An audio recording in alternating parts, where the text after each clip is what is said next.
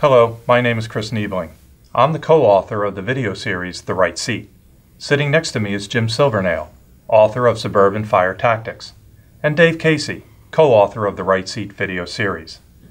While this video emphasizes suburban fire tactics, in reality, it works with all tactics textbooks and curriculums.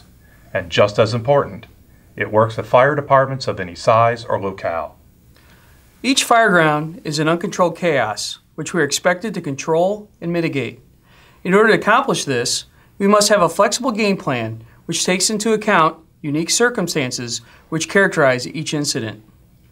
Like the Right Seat video series, this can be used as part of a formal training program or for in-service training, for mentoring, or study for promotional testing. We will introduce the scenario, the type of fire, time of day, weather, your crew and apparatus, and what units will be responding with you.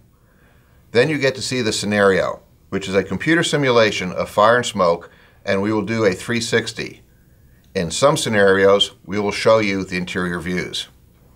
Then you can stop the video and determine what would you do. After that, we will gather here at the firehouse kitchen table and discuss the pertinent points and then leave you with a bullet list.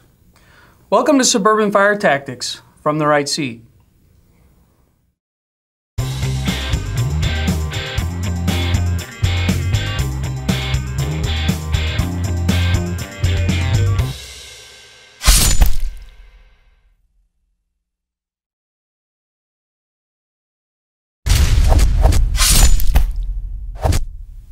So, what are the major differences between urban and suburban firefighting tactics?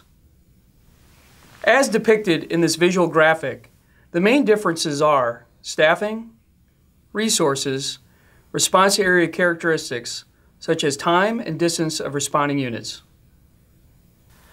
The objectives and strategies in the fire service are universal for any demographic, urban, suburban, and rural. However, the true challenge is tactical implementation.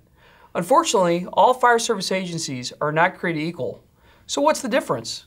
Understanding the difference begins by assessing your agency's capabilities at the single resource level, the company. Secondly, what resources are you responding with? What is the availability of engine companies? And what are the response times, particularly of the later arriving companies? Are there true truck or ladder companies available, or do you operate on a functional SOG?